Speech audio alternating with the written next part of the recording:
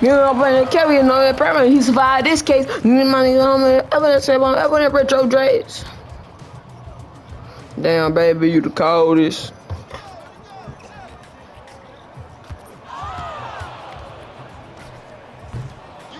He's at cheese on the apple.